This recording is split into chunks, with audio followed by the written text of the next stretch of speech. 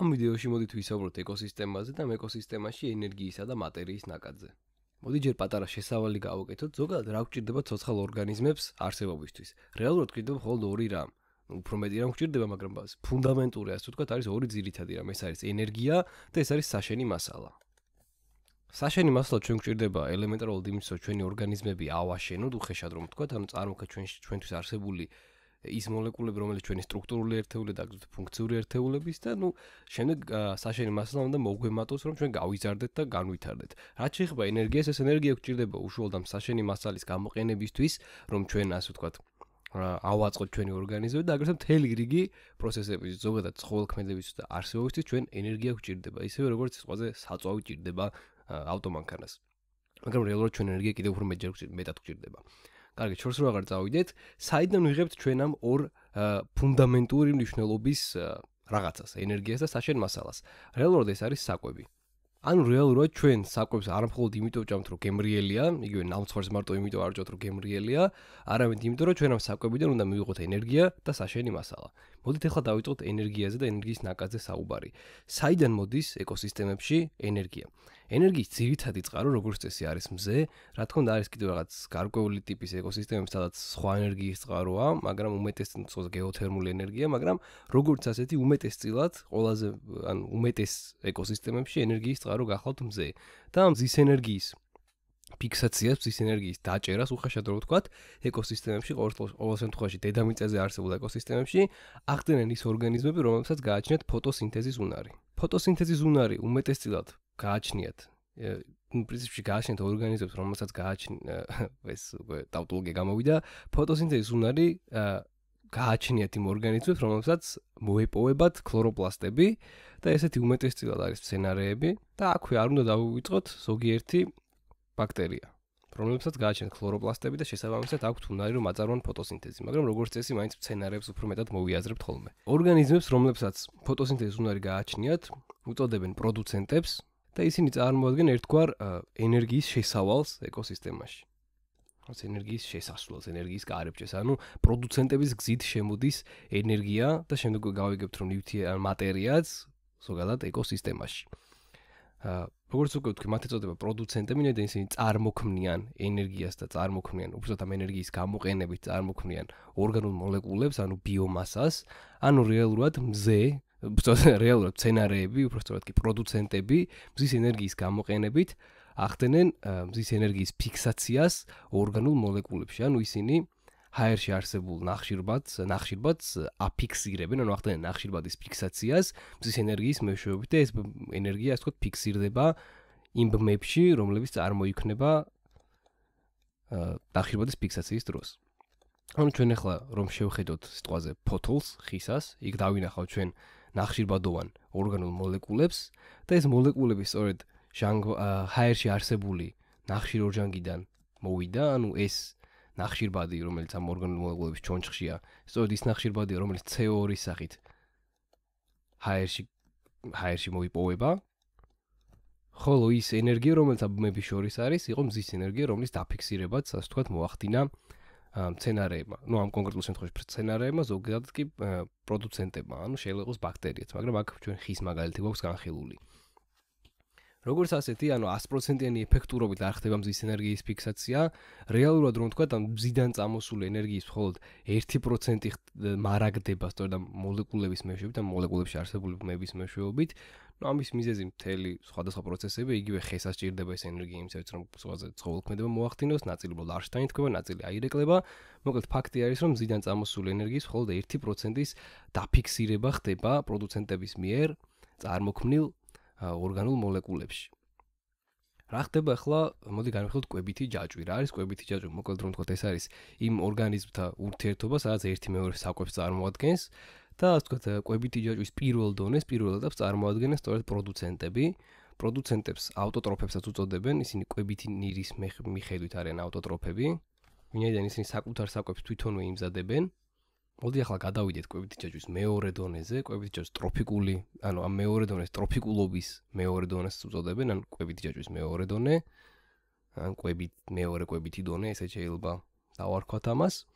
აა მოკლედ მეორე დონეს, მეორე დონეზე არიან ის ორგანიზმები, რომლებიც იკვებებიან მცენარეებით, ანუ ჰერბივორები ჩვენ ეს ტერმინი ვიცით და მაგალითად არის განხილული იგივე კურდღელი ან სწორედ ციყვი არის ეს თუ არ ვცდები.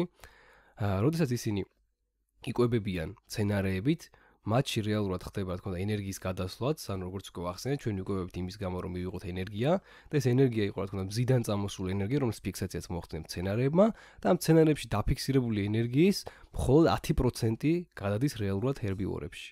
ანუ ასე ვთქვათ, ერთი კვებითი დონიდან მეორე კვებით დონეზე გადადის მხოლოდ ამ ენერგიის 10%. ამის მიზეზი არის ის, უბრალოდ 10% კი არ გადადის, უფრო მეტი გადადის, მაგრამ მხოლოდ 10%-ის დაფიქსირება ხდება ბიომასის სახით, ანუ ხოლ 10% მარაგდება შემდეგ დონეზე. და ამის მიზეზი არის ის, რომ იგივე სიტყვაზე იგივე მიღებული საკვების მონელება სჭირდება ენერგია, ცხოლქმედების სჭირდება ენერგია, ჰერბივორს, აგერთო ის რომ თლიან თლიან ხომ არ შეჭამდო მცენარის ყველა ჰერბივორი, ამიტომაც საბოლოო ჯამში ვიღებთ იმ ფაქტს, რომ ერთი კვებითი დონიდან მეორე კვებითი დონეზე გადასვლისას, ანუ პროდუცენტებიდან პირველი რიგის კონსუმენტებზე მხოლოდ 10% ენერგიისა მარაგდება ბიომასის სახით ჰერბივორებში.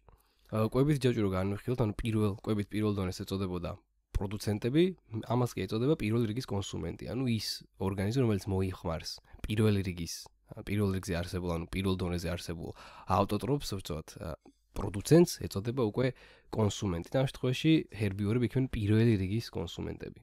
ზოგადად აქ ხატია რომ ხდება სითბოს გამოყოფა ენერგიის გადაცემის პერიოდში და ჩვენ ამ ფაქტს უნდა შევეგუოთ თერმოდინამიკის სწავლისას უკვე მივეჩვევით ამას რომ როგორც წესი ენერგიის გადაცემა ყოველთვის არის 100%-ით წარმატებული ენერგიის გარკვეული ნაწილი გვინდა არ გვინდა სითბოს მეშვეობით გამოიყოფა. ანუ აქ რეალურად სითბოში ნაგულისხმებია თლიანი ენერგია რაც მოხმარდა ყველაფერ დანარჩენ იგივე ცხოველქმედებას აქ სითბოთ არის წოდებული, მაგრამ რეალურად ჭეშმარიტად მართლა სითბოს სახითაც გამოიყო ენერგიის გარკვეული ნაწილი, ან როგორც აქ თქვით, როდესაც ჰერბიორმა შეჭამა სიტყვაზე აა პროდუცენტი, აა ნაწილი წავიდა მონელებაზე, ნაწილი წავიდა ცხოველქმედებაზე, ნაწილი დამარაგდა აა ბიომასის სახით, მაგრამ ნაწილი უბრალოდ სითბოს სახით გაიფანტა გარემოში. ახლა მოდი განვიხილოთ ისე კვებით ჯაჭვის შემდეგი დონე, ის ორგანიზმი ამ შემთხვევაში მელია, რომელიც იკვებება ჰერბიორებით, ამ შემთხვევაში იკვებება ბაჭით და სიტყვაზე ციყვით, მას უკვე ეწოდება მეორე რიგის კონსუმენტი. რეალურად შეიძლება არსებობდეს მესამე რიგის კონსუმენტი, რომელიც იგივე მელით იკვებება, აქ დავხატოთ სიტყვაზე ერთი მშიერი გაბრაზებული კაცი. ხელში შუბი დავაჭერინოთ. რომელსაც შეიძლება მოინადიროს და შეჭამოს უკვე მელია და მას კარნივორი ეწოდება. მელიას იმიტომ რომ ეს ხორცით იკვებება, ჰერბივორი არის ის, ვინც ცხოველი იკვებება მცენარით, კარნივორი იქნება ის, ვინც იკვებება ხორცით და ადამიანი რეალურად იქნება ომნივორი იმის გამო, რომ ის მცენარეს ასჭამს და ხორცაც. ხოლო კვებითი ჯაჭვის ხრივ ვინაიდან ის არის ასე ვთქვათ, წვერვალზე, ის არის ყველაზე ბოლო დონე, ყველა ბოლო კვებით ან ბოლო ტროფიკულ დონეზე, მას უკვე ეწოდება მესამე რიგის კონსუმენტი ან შეგვიძლია უმაღლესი კონსუმენტიც უწოდოთ. ვინაიდან ის არის ასე ვთქვათ, ბოლო დონეზე. ანუ მას აღარავინ აღარ ჭამს. ну რო ყოფილიყო დინოზავრების ეპოქაში პრინციპში რაღაც დონეზე უფრო ჩვენზე მაღალი დონეც იქნებოდა, მაგრამ ახლა ამ კონკრეტულ კვებით ჯაჭვში ადამიანი იქნება უმაღლესი კონსუმენტი. ვინაიდან კვებით ნირზე თავიდანვე ვახსენეთ რომ სცენარები იქნება აუტოტროფები, ყველა დანარჩენი, ანუ ისინი ვის სცენარეებით იკვებებიან, ანუ ისინი ვინც სხვა საკვებს უკვე მზასაკვებს მიიღებენ და თვითონ არ იმზადებენ საკვებს, ამ შემთხვევაში იგივე მელია, ბაჭია, ადამიანი იქნებიან უკვე ჰეტეროტროფები კვებით ნირის მიხედვით. არა მეს თუ ახსენოთ. როდესაც ეს ოცხალი ორგანიზმები მოკვდებიან და ასრულებენ საკუთარ სიცოცხლეს, მათში არსებული ენერგია არ გიგონათ რომ უბრალოდ სადღაც იფანტება და იხარჯება, არსებობენ დამშტელი ორგანიზმების, იგივე მაგალითად სხვადასხვა რიგის მატლები შეიძლება იყოს ან ზოგიერთი რაღაც პარაზიტი მაგალითად, რომლებიც ამ ლეშში არსებულ ენერგიას კვლავ გამოიყენებენ საკუთარი ცხოველქმედებისთვის, ხოლო იქ არსებულ ორგანულ მოლეკულებს დაშლიან დაშლიან უფრო მარტივ მოლეკულებად, რომელთაც უკვე გამდიდდება ნიადაგი და ალბათ უკვე თქვენ თვითონ მიხდით რომ ნიადაგში არსებულ მოლეკულებს კვლავ ისევ მცენარეები გამოიყენებენ. ანუ მასალა, საშენი მასალა არსად არ იკარგება და ამაზე უფრო დეტალურად თქვენმოთ მოგახსენებთ.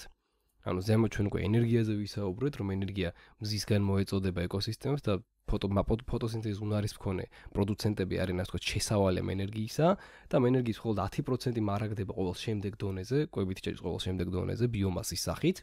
ხოლო რაც შეეხება საშენ მასალას, ეს საშენი მასალა რეალურად მუდმივად არსებობდა დედამიწაზე, უბრალოდ როდესაც დედამიწა შეიქმნა, თავის დროზე რაღაც ვარსკვლავზე შეიძლება წარმოქმნეს საშენი მასალა, მაგრამ იმის მერე ციცოცხლე გაჩნდა, საშენი მასალა იყო ერთი და იგივე, რომელიც მუდმივად ცირკულირებდა.